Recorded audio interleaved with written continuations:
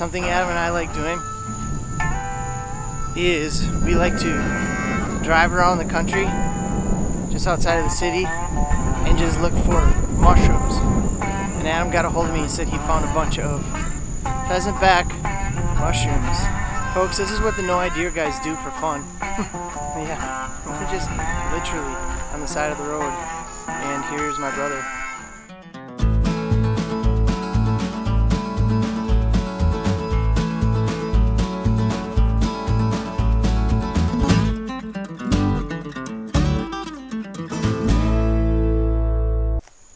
Are your pheasant back mushrooms. Um, identifying them by looking, it looks just like a pheasant back. The feathers on the back of a pheasant or other wild bird. You can see, got Whoa. some huge ones. These things are enormous. I mean, you can see my hand. Now, one thing with these, they grow on hardwoods, primarily elm. A lot of people, a lot of the um, mushroom hunting snobs that are looking for morels will step over these because they think they're inedible. Um, I completely disagree. We recently found uh, a recipe for pickled pickled pheasant backs because if you smell them, Aaron, what do they what do they smell like?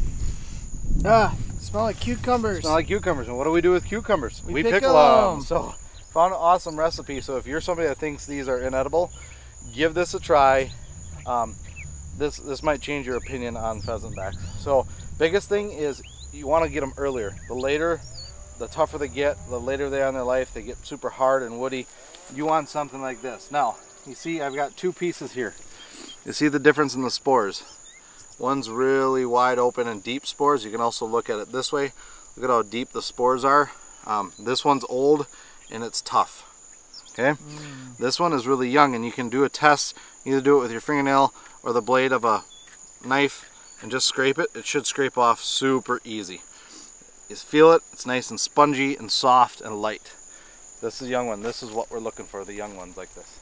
Pheasant backs grow on the wood itself, whereas stuff like morels, they will come from the soil.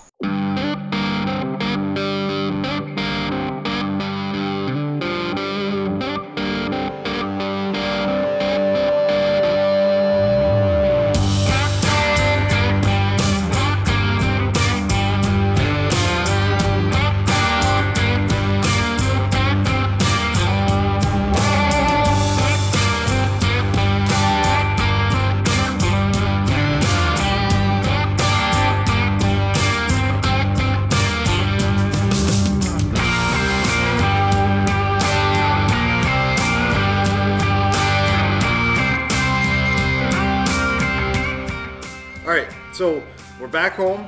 Uh, we got our harvest here. We're going to do two different uh, pickling recipes. The recipe isn't uh, as big of a deal as more the process. I want to talk you through the process. Uh, our next step in the process is going to take these, be to take these, um, take all the spores off the back, which we'll have to do those with maybe a knife or a spoon or your fingernail. Uh, remove all the spores, uh, wash them up good, and then take them to a. I'm going to use a meat slicer. You can also use a mandolin slicer. Slice them paper thin, as thin as you can get them. Super thin. Uh, the thinner, the better. Uh, so that's the next step in the process, and we'll get after it.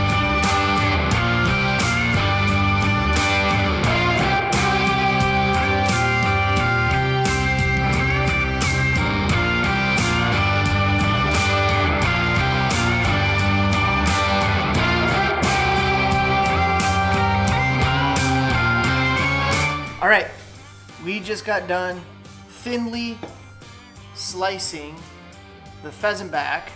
Almost looks like turkey. Oh yeah, like turkey like- sandwich meat. Turkey sandwich meat. Right It is awesome. And so now what we're gonna do is we're putting together the recipes and then we're gonna go ahead and can them. So we're really excited. So Adam, what do we got going on? So we're gonna do two recipes. One is just a very basic dill pickle recipe.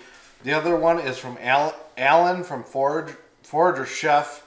Uh, we'll link him down below. Uh, check it out. He's got some amazing stuff, not just for this, uh, but for a lot of uh, wild foraging. So you can use your whatever dill pickle recipe you want for this.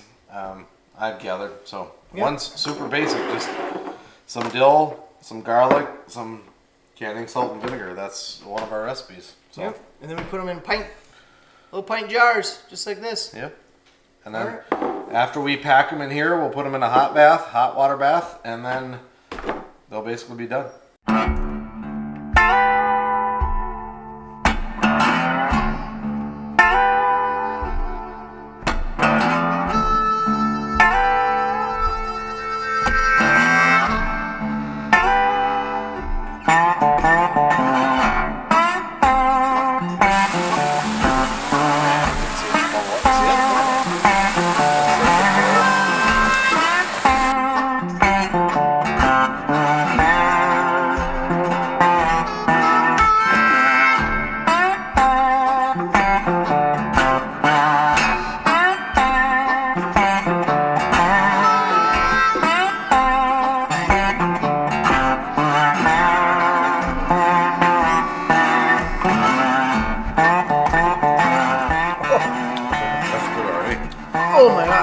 That's really good.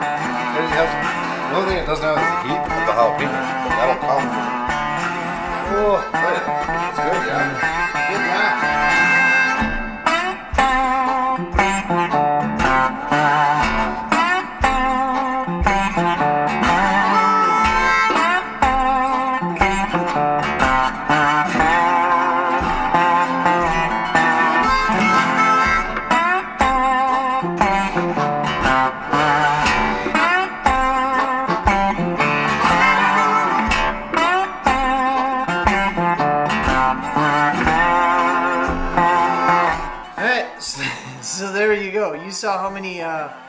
How many pheasant back mushrooms we harvested today, and it cooked down to just three three jars. That's a lot. That's a lot of work. Yeah, not nah, not really.